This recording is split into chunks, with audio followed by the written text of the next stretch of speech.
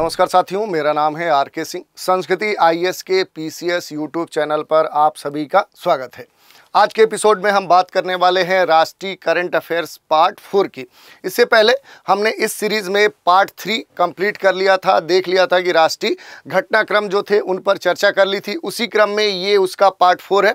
इसमें हम देखने का प्रयास करेंगे कौन से राष्ट्रीय घटनाक्रम है जो आपकी परीक्षा के दृष्टिकोण से महत्वपूर्ण हो जाते हैं और उन पर कैसे प्रश्न बन सकते हैं और उनसे जुड़ी हुई जो महत्वपूर्ण बातें होंगी, उन पर भी हम चर्चा करेंगे। चलिए देख लेते हैं आज के एपिसोड का जो पहला प्रश्न है। ये क्या कह रहा है? तो किस राज्य ने बाल विवाह पर अंकुश लगाने के लिए निजुत मोइना योजना शुरू की है? ये किसके लिए प्रारंभ की गई है? तो बाल विवाह पर अंकुश लगाने के लिए। पूछा जा रहा है कि ये राज्य दिए गए हैं बिहार, मध्य प्रदेश, असम और राजस्थान। इनमें से कौन सा राज्य है जिसने निजुत मोइना योजना प्रारंभ की है? तो देखिए, इसमें अगर हम बात करें तो जो सही उत्तर हो जाएगा, वो हो जाएगा पूर्वोत्तर का जो राज्य असम है, सेवन सिस्टर। कहलाने वाले जो राज्य हैं, उसमें से एक जो असम है, इसी ने बाल विवाह पर अंकुश लगाने के लिए। क्या योजना प्रारंभ की है तो निजुत मोइना योजना प्रारंभ की है। थोड़ा सा इस योजना के बारे में हम देख लेते हैं। पहली बात आपको ये ध्यान देना है कि किस सरकार के द्वारा ये प्रारंभ की गई है। तो ये क्या है कि असम सरकार के द्वारा प्रारंभ की गई है मूल रूप से बालिका शिक्षा को बढ़ावा देने और बाल विवाह पर कह सकते हैं अंकुश लगाने या बाल विवाह को समाप्त करने के ध्येय से क्या है? उस लक्ष्य से आसाम सरकार के द्वारा ये निजुत मुइना योजना प्रारंभ की गई है। इस योजना के अंतर्गत छात्राओं को मासिक वजीफा भी प्रदान किया जाएगा। स्कॉलरशिप, यानी मंथली स्कॉलरशिप, इस योजना के तहत प्रदान करने की भी योजना है। दूसरा प्रश्न देख लेते हैं। जोशी मठ का नाम ज्योतिर्मठ कर दिया गया है।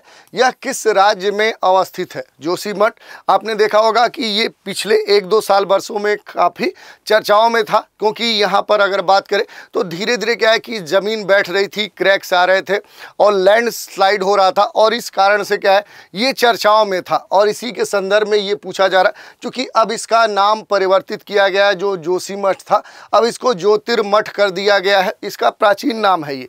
अब उसी को फिर से रख दिया गया तो इसी के संदर्भ में पूछा जा रहा है कि आखिर ये जो स्थान है, ये जो मठ है, कहाँ पर है, किस राज्य से संबंधित है? तो इसकी अगर बात करें तो अपने देश में जो पर्वतीय राज्य है, उत्तराखंड यहीं पर ये अवस्थित है। तो थोड़ा सा इसके बारे में हम देख लेते हैं।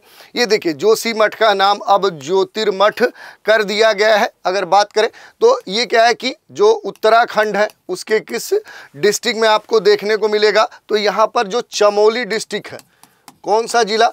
चमोली जिला, चमोली डिस्ट्रिक्ट में जाएँगे तो वहीं पर जोशी मठ तहसील है, वहीं पर आपको ये देखने को मिलेगा। मान्यता ये भी है कि आठवीं सदी में आदि गुरु जो शंकराचार्य हैं, वो यहाँ पर आए हुए थे। वो, यहीं पर उन्हें दिव्य ज्ञान की प्राप्ति हुई थी और दिव्य ज्ञान ज्योति और ज्योतेश्वर महादेव के दोनों के नाम को मिलाकर इस मठ का नाम ज्योतिर्मठ अब कर दिया गया है और इस कारण से ये चर्चाओं में बना हुआ है। अगला प्रश्न देख लेते हैं। ये कह रहा है कि अमेरिकी अंतरिक्ष एजेंसी नासा भारत के किस आईआईटी के साथ मिलकर मल्टी ड्रग प्रतिरोधी रोग जनकों पर शोध कर रहा है? ठीक है, विकल्प दिए गए हैं। IIT Madras, IIT Kanpur, IIT Mumbai और आईआईटी दिल्ली। सही उत्तर का चुनाव करना है तो जो सही उत्तर हो जाएगा, वो हो जाएगा आईआईटी मद्रास। ये क्या है? अमेरिकी अंतरिक्ष एजेंसी जो नासा है, जो नासा है और भारत का जो आईआईटी मद्रास है, ये दोनों मिलकर मल्टी ड्रग प्रतिरोधी रोगजनक पर शोध कर रहे हैं और इसका जो सही आपका उत्तर हो जाएगा विकल्प ए यानी आईआईटी मद्रास। अब इसके बारे में थोड़ा सा और देख लेते हैं। नासा जो है, ये क्या है कि अमेरिका की अंतरिक्ष एजेंसी है और नासा भारतीय प्रौद्योगिकी संस्थान आईआईटी मद्रास के साथ मिलकर मल्टी ड्रग प्रतिरोधी रोगजनक कह सकते हैं कि जो ड्रग्स है उस पर शोध कर रही है और वैज्ञानिकों के बीच में यह एक क्या है कि सहयोगात्मक अध्ययन है। इसमें अगर बात करें तो इसने अंतर्राष्ट्रीय अंतरिक्ष स्टेशन पर बहु औषधि प्रतिरोधी जो रोगाणु हैं, उनके व्यवहार को समझने के लिए ये शोध प्रारंभ किया है जो दोनों देशों के द्वारा किया जा रहा है। अगला प्रश्न देख लेते हैं, प्रश्न संख्या चार। ये क्या कह रहा है? कौन भारतीय नौसेना की पहली महिला हेलीकॉप्टर पायलट बनी है? ये प्रश्न पूछा जा रहा है। नाम दिए गए हैं शिवांगी सिंह, आनंदीबाई जोशी, अनामिका राजीव भावना कंठ। ये चार नाम दिए गए हैं। आपसे पूछा जा रहा है कि इनमें से कौन है जो भारतीय नौसेना की पहली महिला हेलीकॉप्टर पायलट बनी है? तो सही जो उत्तर हो जाएगा, अनामिका जो राजीव हैं ये क्या है कि यही भारतीय नौसेना की पहली हेलीकॉप्टर पायलट बनी है। थोड़ा सा इनके बारे में हम इनका परिचय ले लेते हैं कि भारतीय नौसेना की जो सब लेफ्टिनेंट ये हैं, कौन सी? अनामिका बी, जो राजीव हैं, ये क्या है कि भारतीय नौसेना की पहली महिला हेलीकॉप्टर पायलट बनी है। ये नौसेना में हेलीकॉप्टर उड़ाएँगी। इनके बारे में अगर बात करें तो ये 102 हेलीकॉप्टर कन्वर्जन कोर्स के सफल नौसेना अधिकारियों में से एक भी हैं। इन्होंने भारतीय नौसेना के नौसेना हेलीकॉप्टर जो प्रशिक्षण स्कूल है, वहाँ से स्नातक की उपाधि प्राप्त कर ली है। भारतीय नौसेना का नौसेना जो हेलीकॉप्टर प्रशिक्षण जो स्कूल है, वो कहाँ पर है? वो तमिलनाडु में है। ये आपको ध्यान देना है। कहाँ पर है, जो नौसेना का हेलीकॉप्टर प्रशिक्षण, जो स्कूल है वो तमिलनाडु में है। यहाँ पर जाएँगे तो यहीं पर रानीपेट डिस्ट्रिक्ट में ये आपको देखने को मिलेगा। तो इस तरह से हमने देख लिया कि इनके बारे में जो सामान्य परिचय है। अगला प्रश्न देख लेते हैं। मध्य प्रदेश सरकार ने कूनो राष्ट्रीय उद्यान के अलावा किस अन्य वन्य जीव अभ्यारण्य में चीतों को रखने की घोषणा की है? ये कूनो जो कह सकते हैं कि राष्ट्रीय उद्यान एमपी में है। उसके अलावा किस वन जीव जो अभ्यारण्य है, वहाँ चीतों को रखने की योजना है, ये पूछा जा रहा है, जो विकल्प दिए गए हैं, वो है पंचमरी अभ्यारण्य बी है गांधी सागर वन्य जीव अभ्यारण, सी है राता पानी वन्य जीव अभ्यारण और डी है पलामू अभ्यारण। ये चार विकल्प दिए गए हैं। सही उत्तर का चुनाव करना है तो जो सही उत्तर हो जाएगा, वो हो जाएगा गांधी सागर वन्य जीव अभ्यारण्य यहीं पर क्या है, अगर बात करें तो कूनो राष्ट्रीय उद्यान के अलावा क्या है कि यहाँ पर जो चीतों को रखने की व्यवस्था की गई है। तो ये हमने देख लिया। इसके बारे में अगर थोड़ा सा और हम समझने का प्रयास करें तो चीतों का अब ये दूसरा घर होगा, गांधी सागर वन्य जीव अभ्यारण्य। अगर बात करें तो गांधी सागर वन्य जीव अभ्यारण्य है, ये मध्य प्रदेश के मंदसौर। आप देखेंगे ये कहाँ पर आपको देखने को मिलेगा। एमपी के दो डिस्ट्रिक्ट हैं। पहला कौन सा है? मंदसौर है। कौन सा जिला? मंदसौर जिला। और दूसरा कौन सा डिस्ट्रिक्ट है? तो नीमच जिला। दूसरा कौन सा है? नीमच जिला। इन दोनों जिलों में क्या है कि गांधी सागर वन्य जीव अभ्यारण्य का क्षेत्र फैला हुआ है। इसकी बात करें तो एक महत्वपूर्ण बात है कि इस अभ्यारण्य से आपको एक नदी प्रवाहित होते हुए देखने को मिलेगी। कौन सी नदी? उस नदी का नाम है चंबल नदी। ये जो नदी है लगभग बीचों बीच का है कि गांधी सागर वन्य जीव अभ्यारण्य से होकर गुजरती है। और ख़ास तौर पे इस अभ्यारण्य की बात करें तो इस अभ्यारण्य को वर्ष उन्नीस सौ चौहत्तर में 1974 में अधिसूचित किया गया था।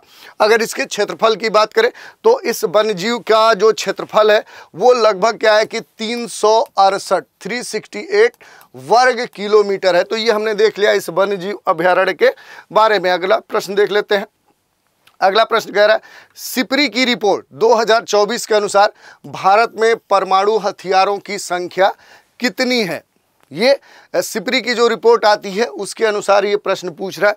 विकल्प जो दिए गए हैं, एक सौ बहत्तर, एक सौ सतासी, एक सौ छप्पन और एक सौ अस्सी। आपको बताना है कि जो सिपरी की रिपोर्ट है, उसके अनुसार क्या है कि भारत में जो एटॉमिक वेपन्स हैं, उनकी संख्या कितनी है?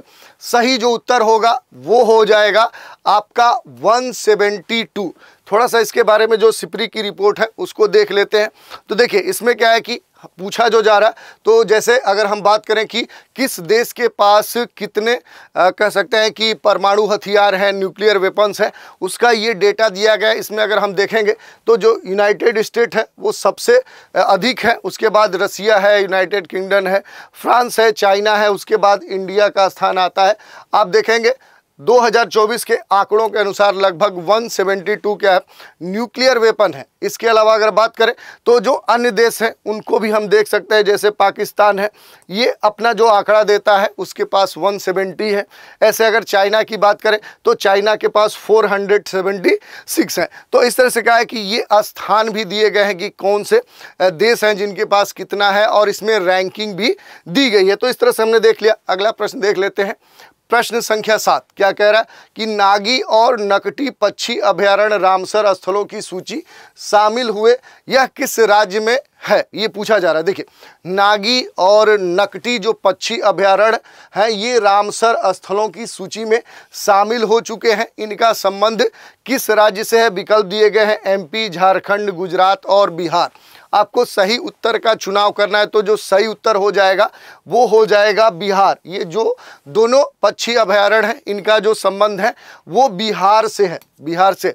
कहाँ से है? तो ये अपने देश का जो बिहार राज्य है, वहीं से है। अगर इसके बारे में हम बात करें तो जो नागी और नकटी पक्षी अभ्यारण्य है, इन्हें रामसर स्थल के रूप में शामिल कर लिया गया है। इनका जो संबंध है, वो बिहार से है। और यहीं पर भी क्या है, यहाँ पे अगर हम बात करेंगे, जो बिहार है, बिहार के किस क्षेत्र से है तो यहाँ पर जमुई डिस्ट्रिक्ट जमुई जो ज़िला है, वहीं पर ये आपको देखने को मिलेगा। इनके शामिल होने के बाद भारत में जो रामसर स्थलों की कुल संख्या थी, वो 82 हो गई थी। लेकिन हाल में अगर बात करें तो इसके बाद फिर से क्या है कि भारत के तीन जो स्थल हैं, उनको रामसर स्थल में शामिल किया गया है। तो वर्तमान में जो देश में कुल रामसर स्थलों की जो संख्या है, वो अब 82 से बढ़कर 85 हो गई है। अगर बात करें जो रामसर कन्वेंशन है, ये एक अंतर सरकारी संधि है। ये आर्द्र भूमि, यानी जो वेटलैंड होता है, दलदली भूमि होता है, उसके संरक्षण और उसके तर्क संगत उपयोग के लिए एक रूपरेखा प्रदान करता है। अगर बात करें ये जो संधि है, इसे 2 फरवरी 1971 कब? तो 2 फरवरी 1971 1971 को जो ईरान देश है, उसके रामसर सिटी में इस संधि को अपनाया गया था। तो ये भी आपके लिए महत्वपूर्ण हो जाता है। अगला प्रश्न देख लेते हैं। प्रश्न संख्या आठ, ये क्या कह रहा है? तो आंध्र प्रदेश की आधिकारिक राजधानी किसे घोषित किया गया है? किसकी आधिकारिक राजधानी? आंध्र प्रदेश की। विकल्प दिए गए हैं तिरुपति, काकीनाडा, अमरावती और हैदराबाद। सही उत्तर का चुनाव आपको करना है। जो सही उत्तर हो जाएगा, वो हो जाएगा सी, यानी अमरावती। अमरावती को ही क्या है कि आंध्र प्रदेश की आधिकारिक राजधानी घोषित किया गया ये आपसे पूछा जा सकता है। और ये जो राजधानी है, इसकी बात करें तो ये जो राजधानी है, इसके तट से क्या है कि एक रिवर भी आपको देखने को मिलेगी जो गुजरती है। वो कौन सी है? तो वो है कृष्णा नदी। ये भी आपसे पूछ सकता है कि यहाँ पर जो अमरावती है, इसके बगल से कौन सी नदी गुजरती है? तो कृष्णा नदी गुजरती है। या ये भी पूछ सकता है कि इस शहर के, ये शहर जो है, किस नदी के किनारे अवस्थित है? और अगर बात करें तो ये नई राजधानी घोषित की गई है, अमरावती, जो आंध्र प्रदेश की अब आधिकारिक राजधानी है। केंद्रीय आवास एवं शहरी मामलों का जो मंत्रालय है, उसने इसकी पुष्टि की। तो ये भी आपसे पूछ सकता है कि आखिर जो ये कहा जा रहा है कि आंध्र प्रदेश की जो आधिकारिक राजधानी है, जिसे अमरावती घोषित किया गया है, ये किसने कहा? तो देश का जो केंद्रीय आवास शहरी जो मामलों का मंत्रालय है, उसी ने इसकी घोषणा की है। प्रश्न संख्या नौ देख लेते हैं। भारत का वह महाकाव्य जिसकी पांडुलिपि को यूनेस्को की मेमोरी ऑफ़ द वर्ल्ड की सूची में शामिल किया गया है। विकल्प दिए गए हैं। रामायण, महाभारत, बुद्धचरित, रामचरित मानस। आपको सही उत्तर का चुनाव करना है। तो जो सही उत्तर हो जाएगा वो है रामचरित। रामचरित जो मानस है, इसे ही भारत का वह ये महाकाव्य है जिसकी पांडुलिपि को UNESCO memory of the world की सूची में शामिल किया गया है और इसी कारण से ये चर्चा में भी है। अगर इसके बारे में हम बात करें तो रामचरितमानस पंचतंत्र और सहृदय लोकन को क्या है कि यूनेस्को की मेमोरी ऑफ़ द वर्ल्ड। तीन इसमें आप देख सकते हैं। कौन कौन से? रामचरित रामचरित मानस, दूसरा पंचतंत्र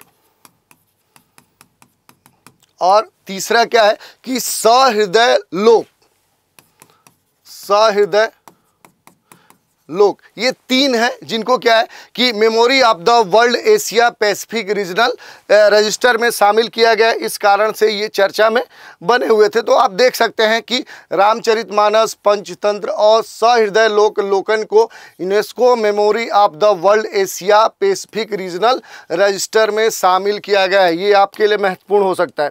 आज के एपिसोड का जो अंतिम प्रश्न है, उसे देख लेते हैं। तो हाल ही में किस राज्य के उच्च न्यायालय ने अपनी महिला कर्मचारियों के लिए मासिक धर्म अवकाश नीति प्रारंभ की है। ये पूछा जा रहा है, जो विकल्प दिए गए हैं, सिक्किम है, असम है, महाराष्ट्र है और दिल्ली है। ये पूछा जा रहा है कि इसका सही उत्तर क्या हो जाएगा?